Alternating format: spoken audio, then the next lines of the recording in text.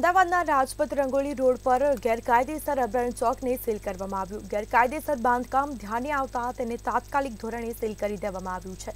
રાજકોટ અગ્નિકાંડ બાદ તંત્ર દ્વારા તમામ એકમોની ચેકિંગ હાથ ધરવામાં આવ્યું. જ્યારે મંતવ્ય ન્યૂઝની ટીમ અર્બન ચોક ખાતે પહોંચી, ત્યારે સિક્યુરિટી ગાર્ડ દ્વારા રિપોર્ટિંગ કરતા અટકાવવામાં આવ્યા. ધમકી આપતા સાથે કહ્યું કે વિડીયોગ્રાફી કરવામાં આવે તો કેમેરાને લાકડીથી તોડી નાખીશું અને તે છતાં પણ મંતવ્યની ટીમે પોતાની નૈતિક ફરજ નિભાવી હતી.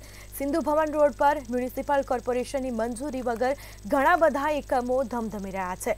કોર્પોરેશનની પરવાનગી લીધા વગર ચાલી રહેલ અર્બન ચોક છેલ્લા ત્રણ ચાર વર્ષથી ધમધમી રહ્યું છે અને અત્યાર સુધીમાં કરોડો રૂપિયા છાપી ચૂક્યું છે.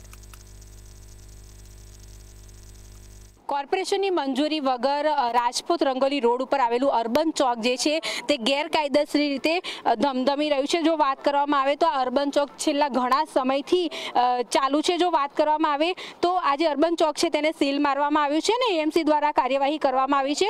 આપ જે જોઈ રહ્યા છો, અર્બન ચોક એ સિંધુ ભવન રોડ ઉપર આવેલું છે અને જો વાત કરવામાં આવે તો અત્યારે હાલ જે પ્રમાણે રાજકોટમાં દુર્ઘટના ઘટી, ત્યારબાદ રાજ્ય સરકાર જે છે, જે લોકો પાસે બીયુ પરમિશન ના હોય અને ફાયર એનઓસી ના હોય તેવા એકમોને જ્યારે સીલ કરી રહી છે. ત્યારે આજે અર્બન ચોક જે છે, તે ગેરકાયદેસર જે ગેરકાયદેસર બાંધકામ હોવાનું સામે આવ્યું છે. જો વાત કરવામાં આવે તો અર્બન ચોક જે છે, તે લીગલ કન્સ્ટ્રક્શન નથી. જેના કારણે થઈને એએમસી દ્વારા આખું જે અર્બન ચોક જે છે, તેને સીલ કરવામાં આવ્યું છે. જે શુક્રવારે આ પ્રકારની કાર્યવાહી ખાસ કરવામાં આવી તો જે લોકો પાસે બીયુ પરમિશન ના હોય, ફાયર એનઓસી ના હોય, તે તેવા અત્યાર સુધીમાં બસો છવ્વીસ જેટલી મિલકતો અને ખાસ કુલ પંદરથી વધુ મિલકતો જે છે, તેની તપાસણી કરીને ચકાસણી કરીને છેલ્લા ચાર દિવસની અંદર સાતસોથી પણ વધારે જગ્યાઓ જે છે, તેમાંથી ત્રાણું જેટલી મિલકતોને એમસી દ્વારા ખાસ સીલ કરવામાં આવી છે. આજે આપ જોઈ રહ્યા છો અર્બન ચોક.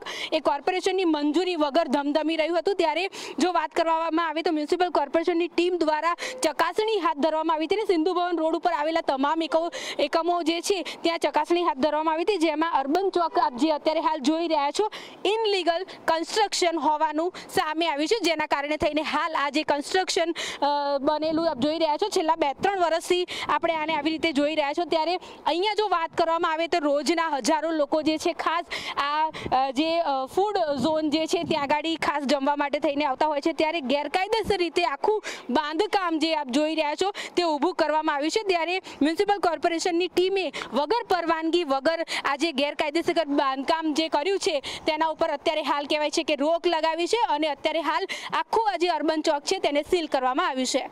કેમેરા પર્સન બીપી નમીન સાથે અનિતા પરમાર મંતવ્ય ન્યૂઝ અમદાવાદ.